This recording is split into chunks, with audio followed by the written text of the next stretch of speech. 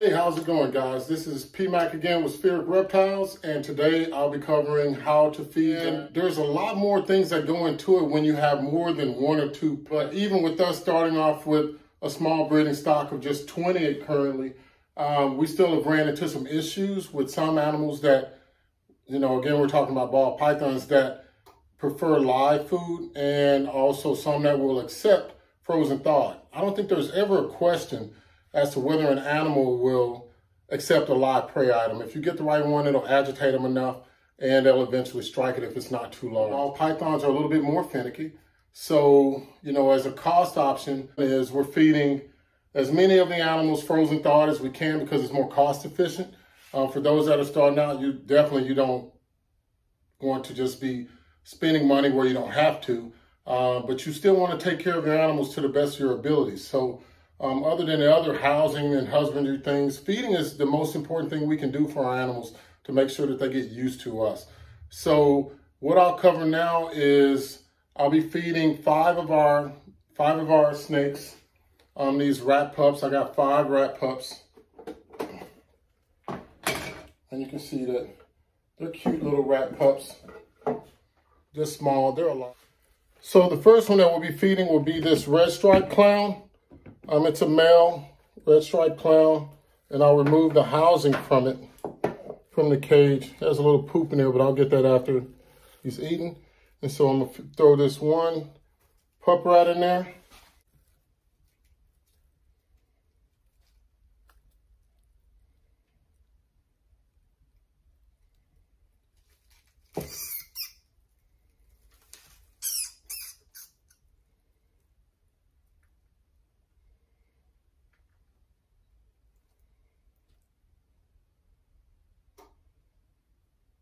So what, what we normally do is after they've got the prey item and they've secured it and I see that the animal is not going to bite the snake, is I take the lid and I just cover it back up and put it up on, back on the shelf with the heat tape. All right, guys, next we got a Bamboo Enchi Calico female that we'll be feeding. And we named her Boo. So what I'll do with Boo is I will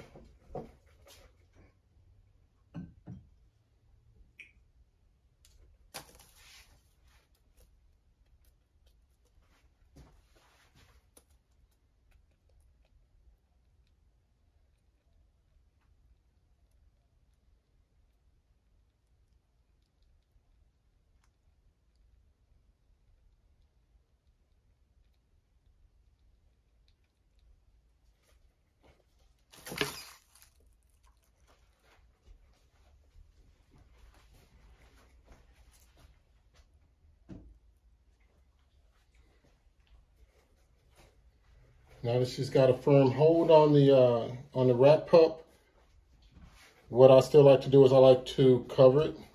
That way she can eat in peace and I'll check back on her in a couple of minutes. All right, uh, next on the list, we got a male pastel orange dream, ball python, of course. Um, and I'm showing you different animals so that if you if this is something that you're running through in your collection, what I found is that Again, we try to use the frozen thawed animals first. And secondly, then we, we offer them a live prey item um, that's kind of, you know, around that mid-body width. We want an animal that will kind of make that stick out a little bit. So um, with this animal, he is normally a reluctant eater. Well, it takes him a while. I'm not going to say he's, he's reluctant, but it does take him a while most of the times to eat. So I remove everything out of his tub.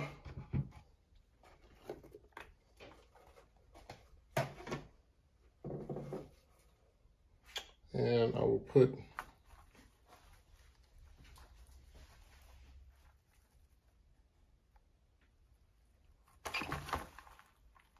Well, he wasn't very reluctant that time, so um, again, I'll, I'll just always check to make sure that the animal, it doesn't matter the size of the animal, that the mouse or rat is not biting on the snake. Um, you know, so that way we can make sure that uh, nothing gets hurt, that the food item actually is food. I mean, that's what this is. So now that he's got a firm hold on the on the uh, rat pup, again, I'll cover him back up and put him back on his uh, shelf with his heat tape. All right, guys, so now um, I have a snake that is probably like a lot of snakes that are out there. Um, when we're looking at Facebook or we're getting questions from people that have ball pythons, one of the biggest things that they say is they have an animal that has been eating. And then all of a sudden it just stops. Um, for whatever reason, ball pythons tend to do that. Um, we do have some that, that have not, but in general, it seems like just like in people, there's differences in personalities that this snake at one point weighed about 530, 540 grams. And then she just, we recently weighed her yesterday or the day before yesterday, and she weighed in at like 480. So, and this has been over the span of about four months. So this is something that we've noticed that she went up in weight, then she kind of stopped eating. So now we're trying to get her back to eating. And to do that, what we're doing is offering her, again, the frozen thawed. And then when she doesn't accept that, then we come back and we offer her a live prey item. And she, she does seek it out.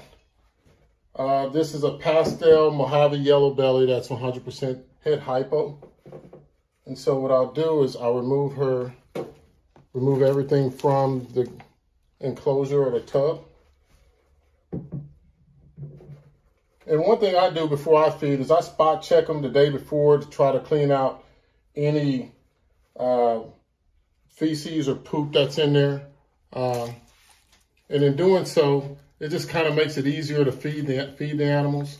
Um, because I typically try to feed my animals every five days, depending on their size or where they need to be.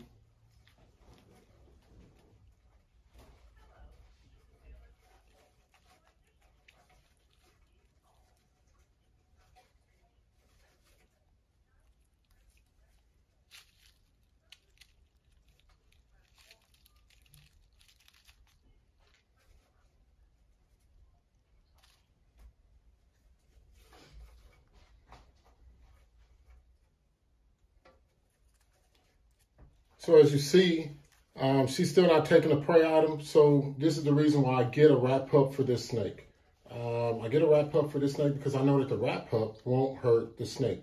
It's not, it's, it doesn't have big teeth or anything like that. So what I'm going to do now is just cover the snake up and just leave the rat pup in there with the actual snake to see if she can eat it or to see if she'll be agitated enough to eat it or develop a wanting to eat it. But I'm doing this because she ate the same size prey item last last week. So I'm trying to build her up to where I can get her back up to weaned rats. So I'll just take this next step and I'll check back with her for in about 30 minutes.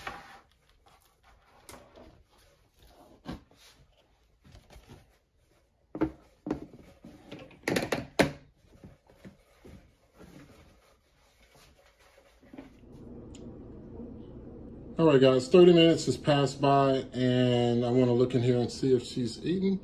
And as you can see, she does have a slight swell in her belly. There's no more pup rat.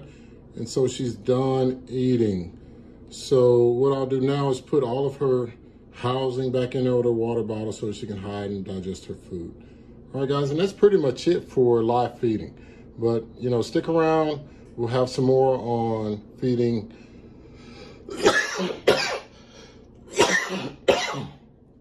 All right, so stick stick around, and we'll have some more on feeding the uh, frozen thaws. Okay. All right, guys.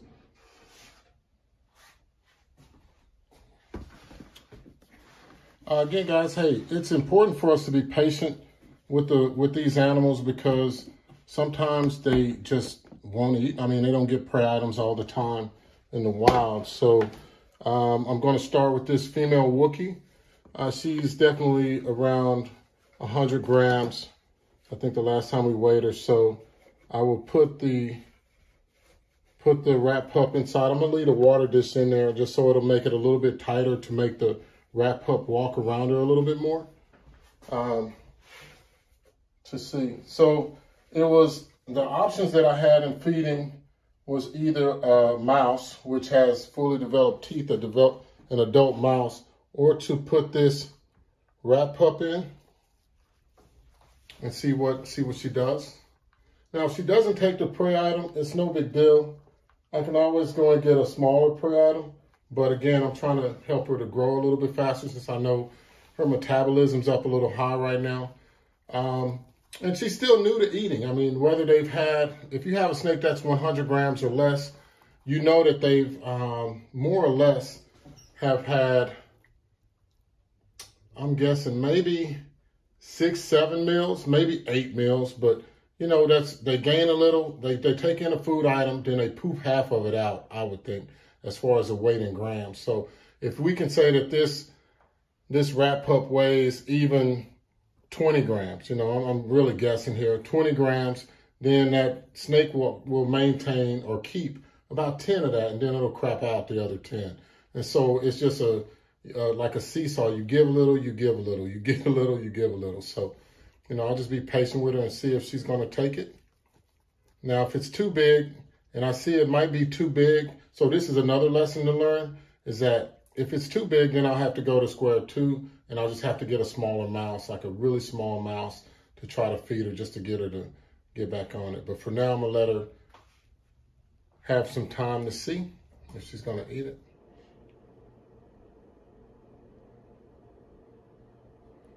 So, because it's a rat pup, what I'll do is I will take everything out, just like I did with the Mojave. We'll cover her up, and we'll put her on the shelf and, and watch her. Fed my uh, five um, snakes today with rat pups. Where the uh, female pastel Mojave yellow belly het hypo did actually eat her rat pup once she was in an enclosed environment over the heat pad. It was more similar to what she's used to. Um, the Wookie is still not eating the rat pup, but again, guys, this is a measure of patience. All right, so let's see if the Wookie ate. And the Wookie still has not eaten. So what I'm going to do is remove that prey item away. Try to grab it as fast as I can without getting bit. And I put it back in the container that I had it stored in. And I'm not going to stress the Wookie out. So what I'll do is wait a couple of days and offer her a live smaller mouse. Just to uh, see if we can get her back on schedule. Um, she ate last week, so and I, and I document all of the things, which I think I highly recommend you do the same. Document when your pet eats, your reptile eats, because we're not talking about dogs and cats.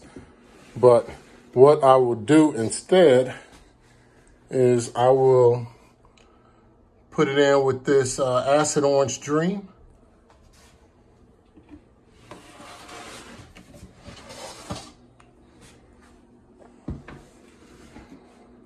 And see if she'll eat.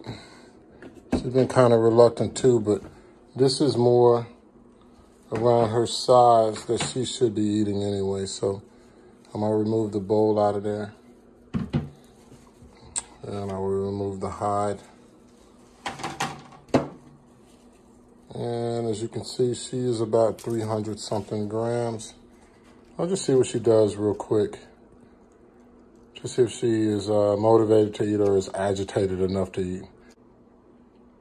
So as you can see, this is one of the benefits that I'll talk about too. Uh, one of the benefits that having a smaller live prey item, such in this case is a rat pup, and you know it's not going to do any harm to the snake. And that's one of the, the animals I like to get my uh, snakes back on when they drop off feeding, is because I know that it won't hurt it. So just like the Mojave, what I'll do is I will cover up and put her on a shelf back where she normally lives and just let her be in her dark little place. And then maybe that will spark a, a, a feeding response. And we'll check back in with her in a couple of minutes to see if she has. And if she has, I'll show you guys because I think it's important for you to see the uh, the results. So even if she eats or if she doesn't, and then I'll discuss what we do as well. All right. All right, guys, so now let's take a look and see if the Acid Orange Dream did actually eat. Let me see. Uh, as you can tell, she does have a very kind of large lump in her stomach. Um, I'm checking this. It's been over a couple of hours. Once I saw she ate, you know, I had some other things that I had to take care of, but um, she definitely did eat the rat pup. There's no sign of a rat pup in there. And now I'll put the hide back on top of her. And one of the main things that we always want to think about is still how our animals feel. We want them to be happy. I mean, we don't, we definitely don't know snake language, but we want them to be as happy as they can be. And uh, a happy snake, I feel like, is going to be a well-fed or a well-eating snake, and uh, it'll develop into the type of pet or breeder that you. I just thank you guys for tuning in. Um, like and subscribe if you like the information that uh, we were able to give to you today.